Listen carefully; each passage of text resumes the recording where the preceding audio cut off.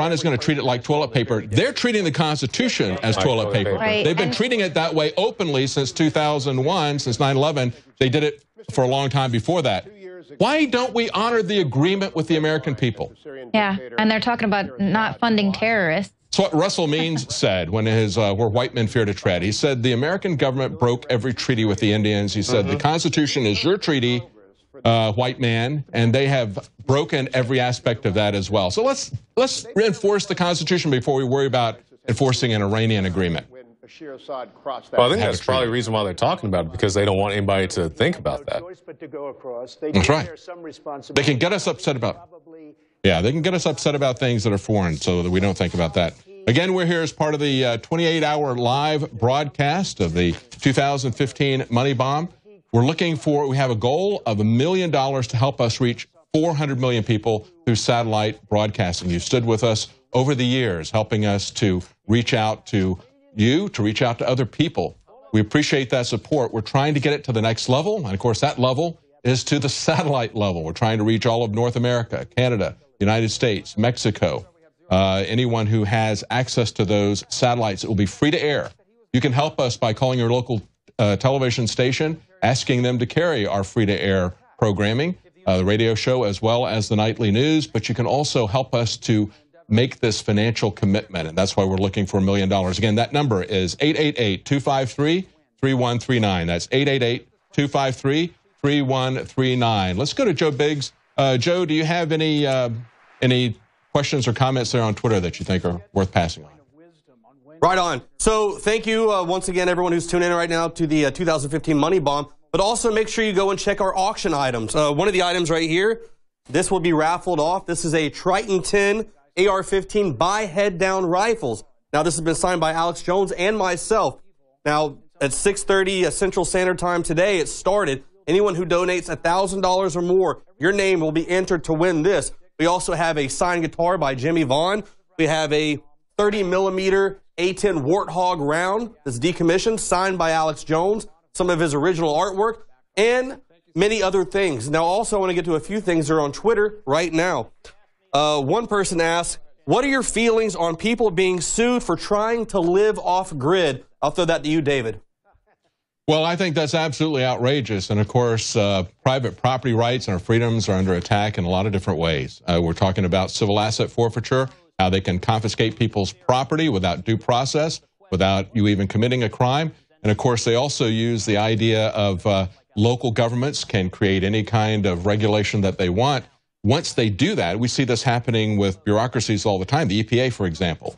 Look at the situation in Montana where they came after that one individual. Uh, we're finding him, I think it was $75,000 a day. They got up to a tremendous amount of money. It was for, he had eight acres. He put on an irrigation pond on his land. They came after him for that. And then they tried to attach his wages.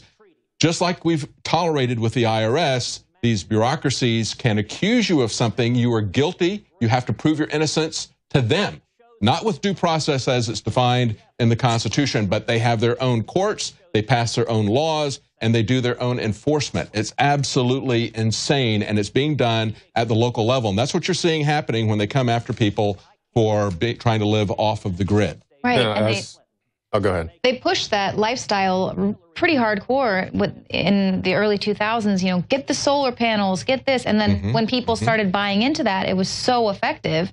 And they were like, wow, there's not a lot of money coming in now because they're not spending as much in gas or they're not driving as far, they're carpooling. And Well, you have to understand the grid is part of their control over your life. right. It's a very, very important part of your, their control They of your don't life, want and you that's why we to want to get have off. some type of facility where you're not typed typed into their uh, to their power grid or whatever else.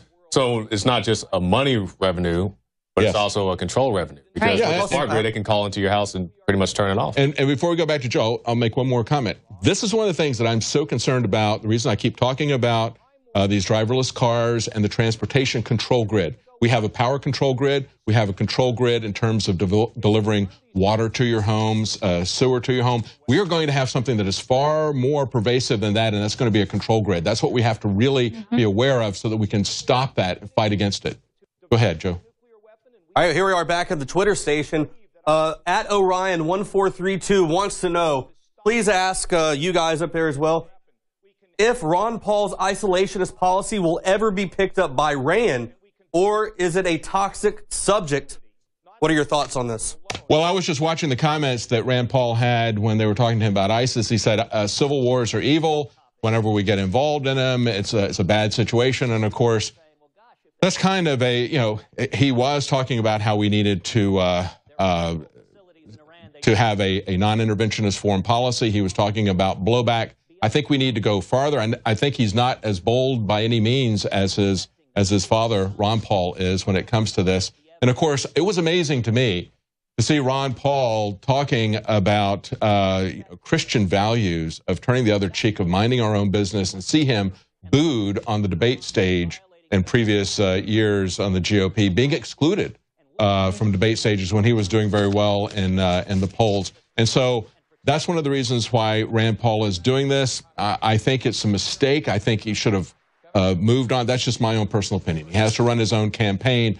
Uh, I do believe that he understands, just as he just said in this uh, comment, that we don't want to be involved there. He, it's a much softer sell, not as direct as as Ron Paul would say. Right.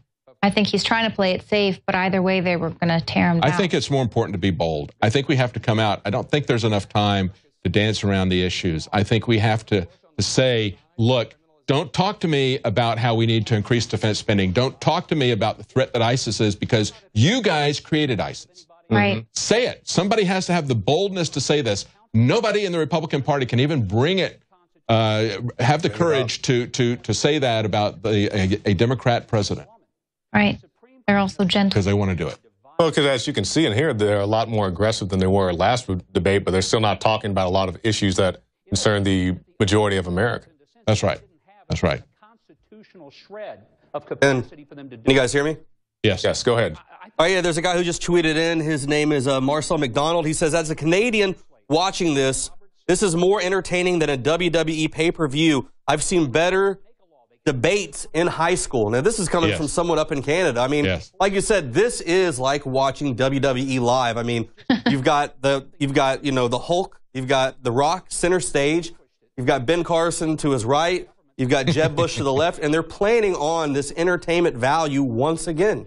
And that's why uh, Donald Trump is doing so well because he's been involved in reality television. He's been involved with the WWE. Exactly. And, this, all, of, all of these debates have been geared towards entertainment instead of getting to the real issues, yeah. how to get America back to where it should be so we can be back on top instead of this downward spiral that we've been in lately. It's reality television. And our, you know, to, to, quote uh, Douglas Adams, who did Hitchhiker's Guide to the Galaxy, when in the last debate we saw Megyn Kelly aim her lip gloss directly at Donald Trump and tell him how much he hated women. I mean, that was the low spot, I think, of all these silly presidential quote unquote debates or just speeches. But go ahead, Leanne. Well, I was just going to point out how it, with wrestling, it doesn't matter who wins because both sides are owned by the same.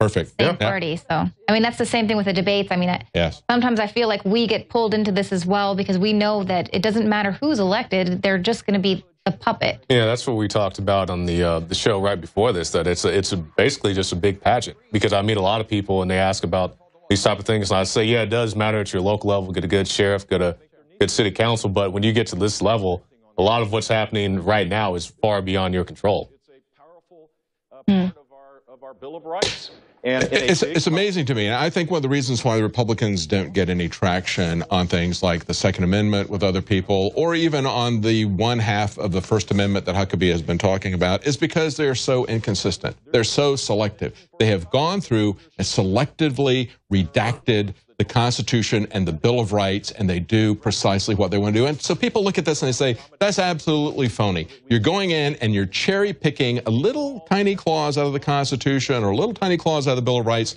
and you're ignoring the other 99% of it. I mean, it's like they've gone through with a big black magic marker. Again, we're, this is the 28 hour money bomb for 2015 for InfoWars. If you want to help to support our operation, that number is 888 253 3139. Again, that's 888 253 3139. Operators are standing by. I think uh, Rob Dew is over there taking phone calls. You can talk to Rob Dew, perhaps, if you call in.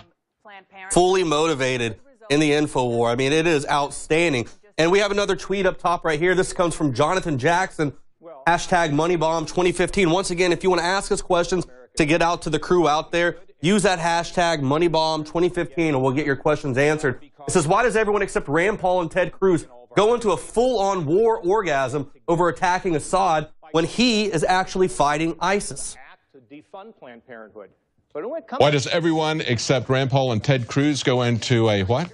A was wargasm. Into a full-on war wargasm. orgasm Yeah, over that's true. attacking Assad when, when he is actually out there on the ground fighting ISIS. and all we're going to do is Well, that's what the uh, GOP has basically uh, based their appeal on, and that is fear. That's what the surveillance state is all about. They have elevated national security to a religion, and everything is subservient to it. The rule of law has been destroyed by our war on terror, just as the rule of law uh, began to be destroyed by the, the uh, war on drugs. They are always creating these metaphorical wars as well as real wars because that is the way they keep power. Look at 1984. There was a constant state of war that was being perpetuated by that because that's how you control the people. As long as you've got a boogeyman on the outside of the country that you can get people afraid of, they're not afraid of you no matter what you do to them, no matter how many times you stomp on their face. They're not afraid of you as much as they're afraid of the big bad guy that's outside that you keep telling them about. Well, just look at what's go- going on in North Korea. They're you know, always talking about, oh, Kim Jong Il, he's positioning his army and he's constantly doing the whole parade and this and that. And his his country is shut off from the rest of the world. So there, he's just controlling his own people by constantly having them think, oh, there's a war. Oh, we better get ready. Oh, constantly in the state of fear. And that's exactly what's happening to us. We have all these boogeymen in Russia. Oh, Bashar al Assad. And, you know, it's just we got to wake up from this at some point and realize that these people are trying to send your children to war or Precisely. for the military as- I believe it was complex. Assad who came out and made the statement recently talking about all the immigrants leaving Syria. He's like, well, if you guys would stop funding all these rebels and these Al Qaeda guys who are here, people wouldn't have a desire to flee here. Flee from Yeah. yeah. Right. It was in the uh, earlier debate that they had. They just had four candidates, and it's interesting. Those four candidates who are at the very bottom of the polls got two hours amongst the four of them. Uh, but they were going back and forth, and Bobby Jindal was kind of on the attack. He was criticizing the others. Uh, one of the things that he said that I thought was very interesting because they're talking about Planned Parenthood right now, whether or not they would shut down the government. Bobby Jindal said, if we can't muster the courage to shut down Planned Parenthood after what we've seen now, we ought to just call it in, just pack it in as a GOP. To which Lindsey Graham replied, he said, we can't do something radical like that because we'll lose the election. That's the kind of whore that Lindsey Graham is, and he is a political whore. I, that's the most repulsive thing I've ever seen. The man has no principles. We need to distinguish between principles and positions that they assume so that they can get the position of presidency. And I think people are really fed up with it. That's why they go with somebody, no matter how blunt, no matter how much of a braggart he is, someone like Donald Trump, because they are sick and tired of the people that are out there for their own particular gain. And I don't think they understand the personal gain game that Donald Trump is capable of playing once he becomes president. They look at this and say, well, he's putting up his money, his own money to run for this. They don't realize, and they need to look at the people who came in here penniless, like Barack Obama went into politics penniless, and now he's a multimillionaire. The same thing with Bill and Hillary Clinton and so many of the rest of Many other people as well. Yes, Yeah. that's the way they do it. And of course, if, yes, let's, uh, again, this is the 28 hour Money Bomb. You, you can uh, send our comments, your comments to Money Bomb 2015. Joe Biggs is there. Again, if you want to support us, let me get that number. I just had it here. It's 888 253 3139. We're doing a 28 hour live marathon. This is part of it. We're covering uh, the debate here as part of our live coverage. Uh, we also have products that are discounted today, many products that are 20% to 15% off.